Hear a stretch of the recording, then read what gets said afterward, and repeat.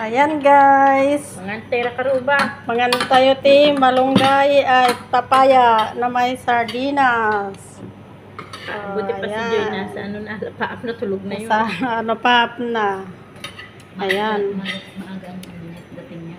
Alas 10, mga alas 10. 9.30 ganun. Alas 8 nag, alas, Mangan mangan tayo, mangan tayo. Tayo naman sa susunod. delay one hour ang plano kasi may mga hintay pang pasahero yan. Hmm. Hmm. Ito po, pampagatas! Pamparami ng gatas, malunggay. So, Hmm. Maganda sa katawan ko. maganda. Hindi to live video lang. Maraming. ah, yan ang kinakain ng mga nanganganak. Hindi ba? Ako nga, Malunggay. ginagawa ng powder-powder ngayon. Oo, wala. Hindi rin maganda yun. Malunggay tea, pwede. Pandesal. Hmm, pandesal. Hmm. Pandesal. Ang sarap. Wow. Ano pang pandesal? Sa amin doon sa Casilios, meron kaming Hmm. ano doon, malunggay pandesal. Hmm. O nakita ko na Ang yun.